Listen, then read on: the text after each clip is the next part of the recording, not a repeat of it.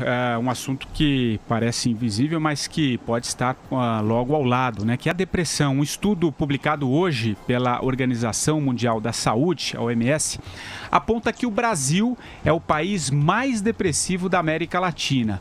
Mais informações com a repórter Carolina Ercolim. Vamos ouvir a matéria. Daqui a pouco a gente coloca o tema em discussão e vamos também com a participação dos nossos ouvintes que continuam mandando mensagens aqui para o 3 em 1. Vamos lá, Carolina Ercolim. Pessoal, encontramos ao menos um ranking onde o Brasil é líder ao lado de grandes potências como China e Índia, o da depressão. Quase 6% da população brasileira está deprimida. Na verdade, somos o país mais deprimido da América Latina. A média do planeta, segundo a OMS, é de 4,4%. E é bom lembrar que o distúrbio em casos extremos pode levar ao suicídio. Um dado que não gera orgulho, mas reflexão.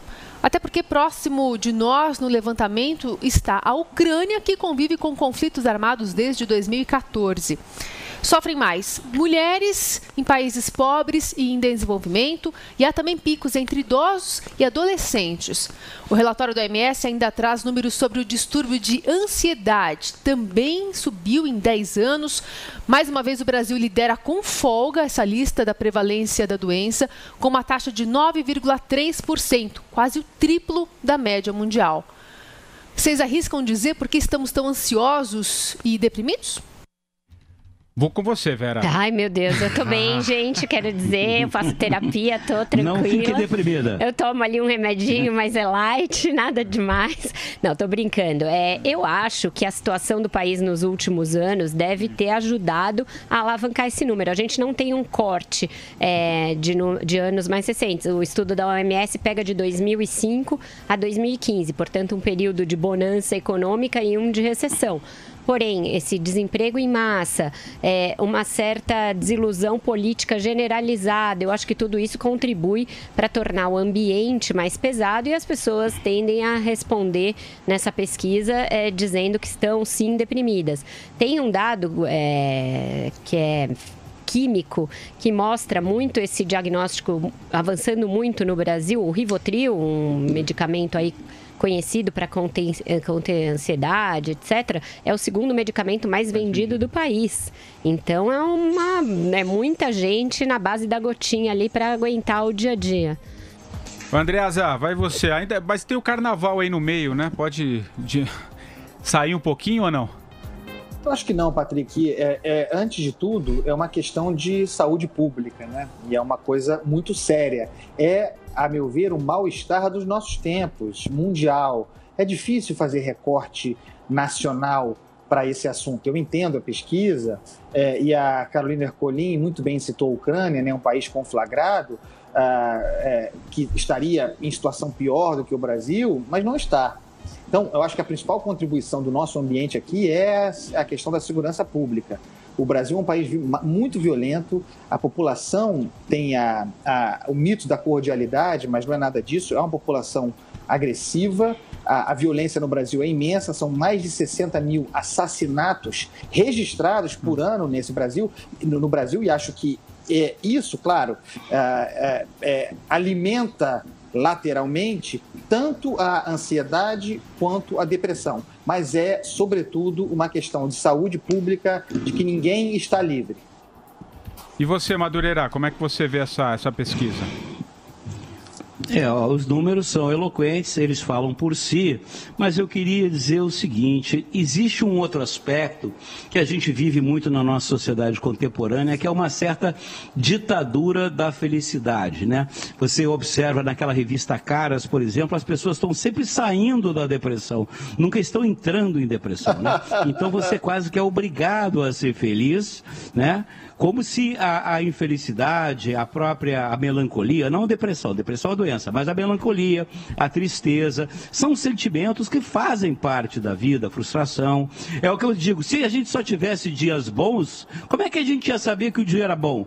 A vida é feita de dias bons, dias não tão bons, dias ruins, isso que faz de viver esta aventura é, espetacular, né? essa coisa desafiante, você transformar um dia ruim num dia bom. Agora, é aquela história. você vive num país que é evidentemente, o Andreasa falou muito bem, o brasileiro é um inseguro. Por que, que ele é um inseguro? Porque se ele não tem dinheiro, ele não tem saúde, ele não tem segurança, ele não tem moradia, ele não tem nada. Né? O brasileiro, isso contribui muito para a nossa baixa produtividade, para a nossa falta de iniciativa. É, é, o brasileiro é, um, é uma pessoa que vive com medo. E isso é péssimo. Né? Isso é péssimo. E isso é uma herança maldita desses 13 anos que a gente teve aí, desse, desse stalinismo rastaquera aí, dessa bobajada aí de PT e tudo. Nós poderíamos estar é, tá construindo aí uma grande nação. É, é, é muito eloquente você ver que a, a ansiedade né, atinge, e, a, e a, a, depressão atinge velhos e adolescentes. Por que os velhos? Os velhos porque já estão no caso da vida, no final da vida, é, já tem praticamente a certeza que não vão ver tempos melhores. E os adolescentes, né, no, no, na aurora da vida, né, no limiar, vendo que o futuro é, é, não existe, é negro. É muito triste também a gente estar tá vivendo nesses tempos. Mas, pessoal, força, força, juntos nós vamos mudar isso. É, tem muita gente tem... na rede aqui falando, na, na, no nosso chat também, que, que queriam ouvir de vocês o, o, em que medida as redes sociais também Eu ia falar justamente um isso, Ai, tá eu nem vi esse questionamento, é, mas eu ia falar. Isso, da depressão no plano pessoal, que o Madureira abordou um pouquinho, essa coisa da melancolia versus a obrigação de você estar tá sempre feliz. Quando você olha as redes sociais, é. parece que as pessoas são felizes o tempo inteiro, né? Estão sempre postando selfies e falando o que fizeram no dia e como foi maravilhoso. Eu também sou, sou assim, sou dessas, como diz a hashtag, porque é um jeito uhum. gostoso de você interagir com os amigos, de você contar alguma coisa boa. Mas ninguém acaba contando as coisas chatas e complicadas que acontecem no dia a dia de todos nós e até muitas vezes com mais frequência do que as coisas felizes. Então, quem vê esse mundo cor-de-rosa das redes sociais acha que está sempre tudo bem, que todo mundo é feliz e pensa, puxa, comigo não é muito bem assim, né? Tem uma música de uma banda chamada King que fala Everybody's changing and I don't feel the same. Todo mundo está mudando e eu não sinto mesmo. Eu acho que tem esse sentimento um pouco disseminado na sociedade moderna e isso leva a uma certa depressão. Andreasa. Tem uma. É, porque realmente a depressão é uma coisa muito séria, é um problema seríssimo.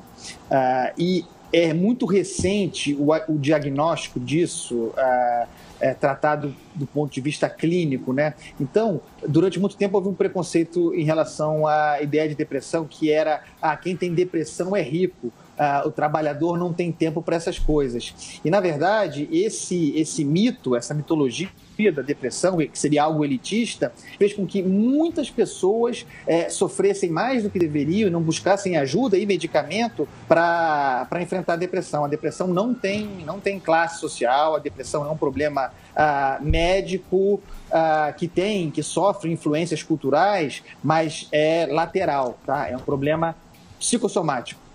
É isso. Ô, gente, vamos então. Podemos fazer o ah. momento livros ali, que não vai ser o Andreasa, mas que. É, que sobre esse assunto. Ah, eu não lá. sei se todo mundo já deve ter lido, mas hum. eu recomendo muitíssimo o livro Demônio do Meio-Dia. Eu li, é um livro muito é, bacana ali, que fala sobre a depressão. Não é bacana porque ele é um livro triste em muitos momentos, mas pesado, traz uma, uma... mas traz hum. uma boa ali, um bom relato sobre o que é a depressão, todas as suas é, nuances. Ô, gente, vamos então ouvir os nossos ouvintes que participam aqui pelo nosso WhatsApp. Vai lá, Reginaldo. Oi, Jovem Pan, sou a Mariana de São Paulo. E não fico deprimida, não. Eu fico revoltada com a situação que o país está passando, vontade mesmo é de ir embora. Meu nome é Sara e eu vim participar da enquete. Sim, eu já fiquei muito deprimida e ainda estou deprimida com a situação do país, que tenho muita vontade de me mudar daqui. É incrível essa situação, mas é a realidade. Tenho essa vontade. Aqui é Paulo de Natal, tudo azul. Na minha vida, desde garoto, posso ficar triste, posso ficar alegre, posso ficar deprimido. Mas por essas questões externas, só se a gente não conhecer a história do Brasil. Não tem muitos motivos para sorrir. É Paulo de Campinas, deprimido esse país aqui não tem como não ficar deprimido. Ou você fica deprimido, ou você fica alcoolizado. Não tem muita opção não. É, com toda essa corrupção que está acontecendo, com essa classe política que é nojenta e tantas outras coisas que acontecem no nosso dia a dia. Aí, Vera, a participação dos nossos. Vocês ouvintes. viram, né? Ah, vai, é uma, Andreasa. uma, a compreensão senso comum, respeitável, mas senso comum da depressão associada à, à realidade do país, quando na verdade a gente precisa discutir isso mais aprofundadamente. É, tem as questões externas, mas a depressão, a que é gravíssima, é a interna. É uma doença é, que pode ser influenciada por esses elementos todos. Mas essa é uma visão, com todo respeito aos nossos ouvintes, é uma visão superficial do problema. É, tem um, é. tem um desbalanceamento é. que é até eletrolítico ali, químico, né? De substâncias é, mesmo, serotonina, etc. Tem todo esse lado também, que é facilmente ali, é mais fácil psico... de você tratar, mas também tem, requer uma terapia e se conhecer. Eu queria pedir desculpa, que, Vera, eu falei psicossomático, eu queria dizer químico. É, é. um, é um fenômeno químico, é. médico mesmo. Médico. Mas Diga, posso falar? Pode. Não, a, a, a, grande questão realmente está no diagnóstico, né? O, o, você tem que ter um bom profissional que faça um diagnóstico preciso do que é depressão e o que seria uma melancolia, né? o que é uma coisa estrutural, o que é uma coisa apenas conjuntural. E isso é difícil. E as pessoas hoje em dia têm cada vez mais, mais dificuldade de encontrar eh, atendimento médico de qualidade, onde o médico possa dar a, a devida atenção ao paciente, observá-lo durante o tempo. Isso é que é pena, né? Como o Andreasa disse muito bem, é, aliás, eu digo, os pobres sofrem mais de, de depressão talvez que os ricos. Só que eles não têm para onde correr. E, e, e, e, você precisa realmente de atendimento médico, de uma eventual medicação, né? E isso custa dinheiro, custa acompanhamento, e não tem política pública para a saúde mental. E eu acho que a gente pode discutir também se tem um overdiagnóstico aí, né? Que qualquer é. um que esteja com um problema é, é, já vão lá e tacam um remédio no cara, que nem Precoce, existe de crianças, TDAH, né? TDAH em criança tem um. Rivotril é igual o Jujuba. É. Então, TDAH entre criança e o, a recomendação de Ritalina, eu acho que também está bem acima do que seria adequado e, e dentro do bom Perfeito, senso Vera. no Brasil, né? E eu... o, nosso, o nosso último ouvinte falou sobre bebida.